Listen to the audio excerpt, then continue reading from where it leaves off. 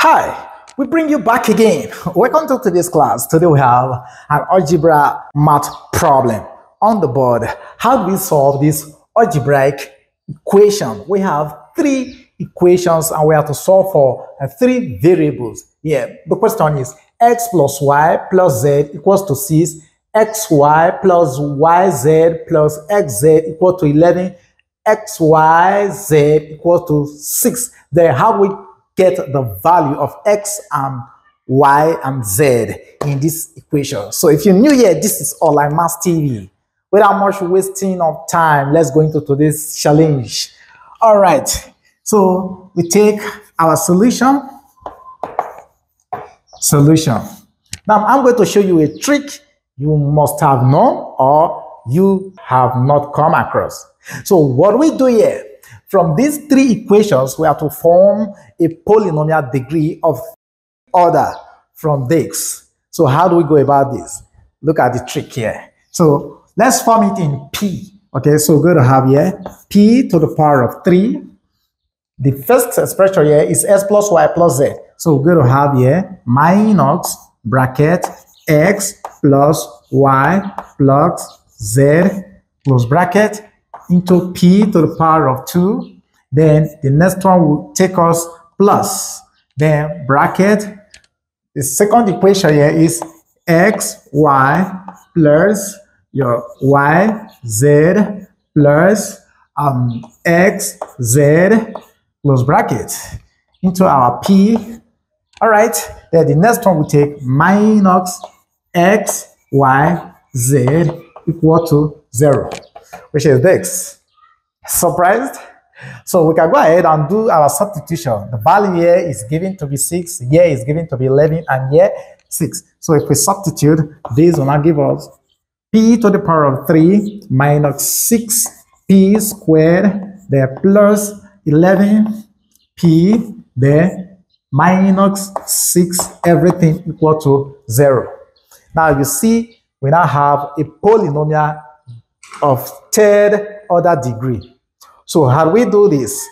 We use the trial by error method to get the first factor to this polynomial equation. And we discover that the first factor here is um, p minus 1. So p minus 1 is a factor. p minus 1 is a factor. Okay, so if p minus 1 is a factor. In other words, the value of p equal to 1 is substituted into this expression, will give us 0. Let's try that. If we send this to 0, that means p is equals to positive 1. So if we have here positive 1, here we'll be left with 1. Here we have 1 times 6, which is um, uh, 6. Then 1 times 11 will still give us, uh, sorry, uh, 11 times 1 will give us um, 11. So automatically we're going to have 1 minus 6, which is minus 5, minus 5 plus 11 will give us plus 6, plus 6 minus 6 will give us 0. So it is shown that p minus 1 is a factor. So what we do here, we are going to use the long division method to um, get the second and the third um, root from uh, this equation here. Okay, so from here, let's see here, using the long division method, using the long division division method. Okay, so we could as well use the synthetic method, but here let's go with the long division method that is familiar to us. So from here, let's rule out here.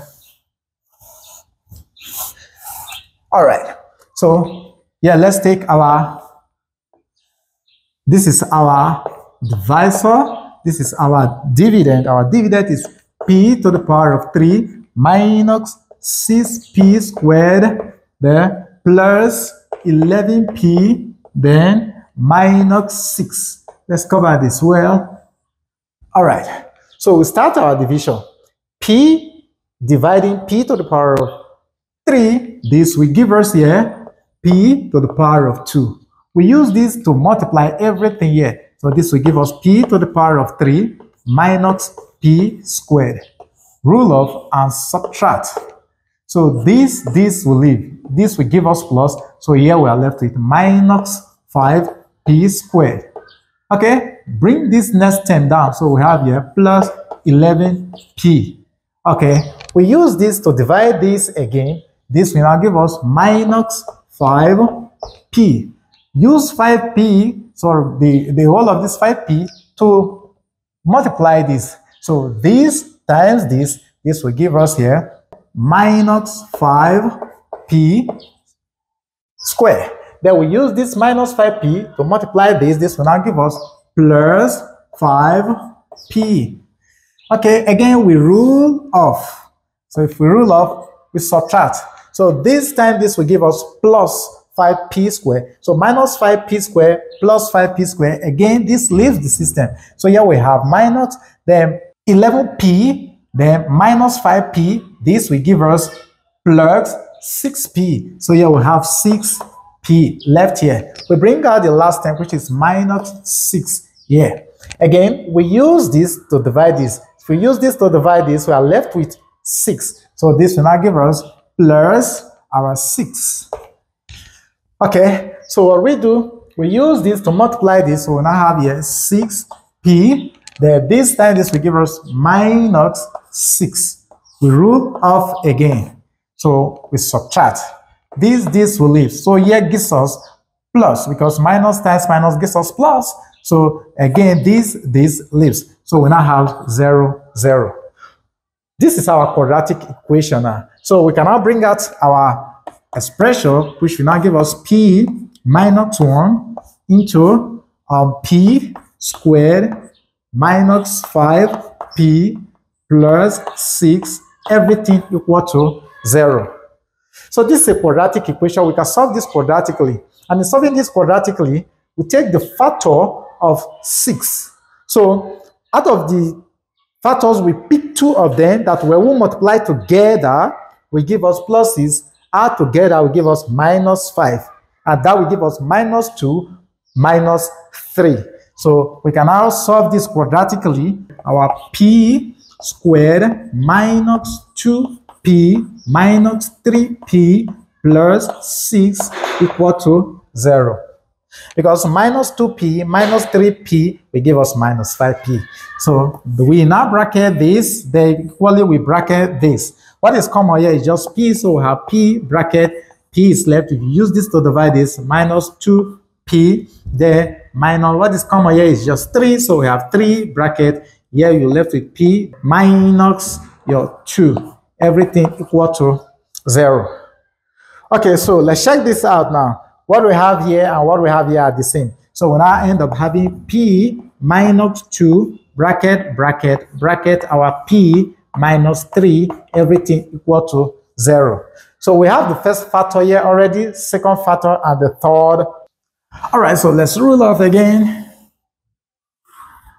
So our first factor here, we have P minus 1, close bracket there, P minus 2, and P minus 3 everything equal to 0. So it thus implies that our P1 equal to 1, P2 equal to 2, and P3 is equal to 3.